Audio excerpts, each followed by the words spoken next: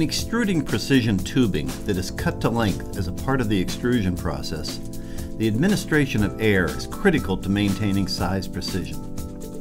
Using a technique commonly referred to as free air extrusion, highly regulated air is directed into the die, providing inflation of the extruded tube to its desired size as it is being pulled through the cooling medium.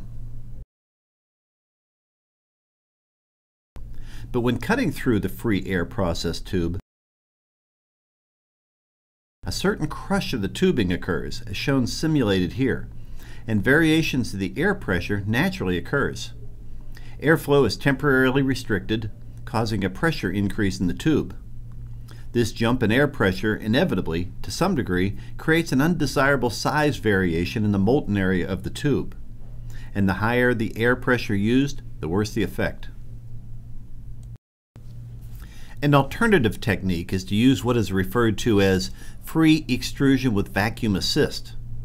With this refined process, a vacuum tank is employed, but no compressed air is required.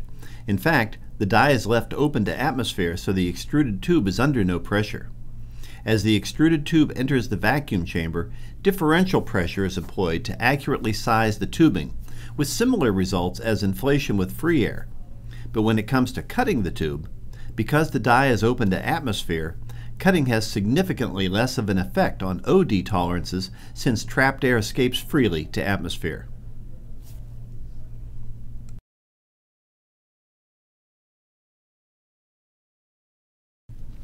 With either technique, it is always best to use just enough pressure to achieve ovality.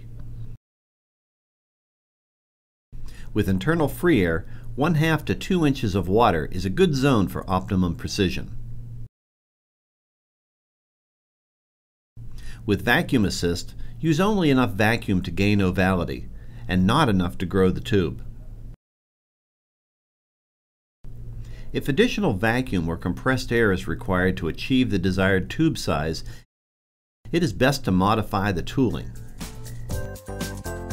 For more information, contact Conair at 724-584-5500 and talk to our downstream extrusion experts about your application.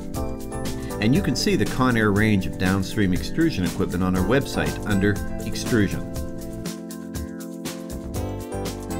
Thanks for watching.